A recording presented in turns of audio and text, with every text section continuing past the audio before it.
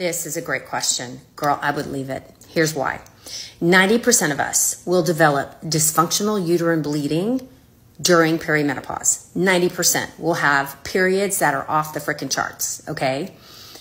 The progesterone containing IUD, the Mirena, the Skyla, you know, and there's Liletta or whatever, are um, wonderful treatments for this. So if you're happy with it, I would completely leave it through perimenopause and maybe even into early menopause because it provides progest- local progesterone in the lining of the uterus, protecting it so you don't absolutely have to take progesterone exogenously. So, that being said, I love me some progesterone. I have my uterus, and so I have to take it with my estradiol, and I also take testosterone.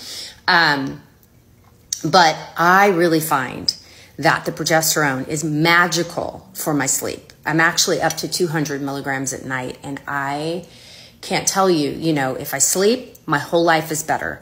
And I sleep better with the progesterone on board. It decreases my racing thoughts, it cuts down on my nighttime anxiety, and I'm a huge fan. But love the IUD. It can help you avoid surgery for crazy bleeding. Remember, hysterectomy is not a treatment for perimenopause. We have other ways to control your bleeding for some.